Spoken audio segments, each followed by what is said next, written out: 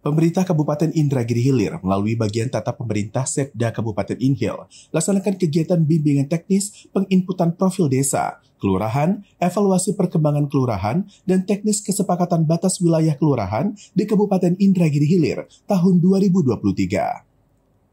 BIMTEK Prodeskel ini dilaksanakan di Gedung Engku Kelana Tembilahan pada 27 Desember 2023 diikuti oleh camat, perangkat kecamatan, lurah, perangkat kelurahan, sekabupaten Indragiri Hilir. Acara BIMTEK dibuka oleh penjabat Bupati Herman yang diwakili oleh Asisten Perekonomian dan Pembangunan Setda Inhil Junaidi, mengatakan Prodeskel merupakan suatu aplikasi untuk mempermudah penyusunan profil desa dan kelurahan menggunakan aplikasi berbasis website dengan data input secara online. Selain itu, Junaidi berharap kepada camat, lurah, dan kepala desa untuk mengetahui batas-batas wilayah administrasi daerah yang dipimpinnya. Berkaitan dengan batas wilayah administrasi bukanlah merupakan hal yang bisa dianggap enteng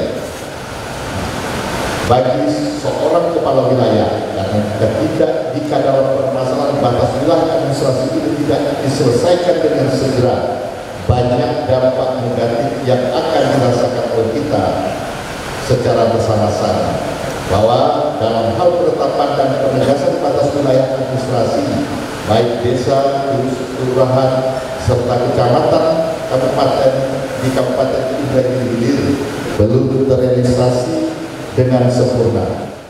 Tak hanya itu, Asisten 2 Setda Inhil meminta kepada seluruh peserta untuk dapat mengikuti secara serius tata cara penginputan data pada aplikasi ProDeskel dan aplikasi AppDeskel. Zakaria dan Dede Arizal melaporkan untuk Gemilang Televisi.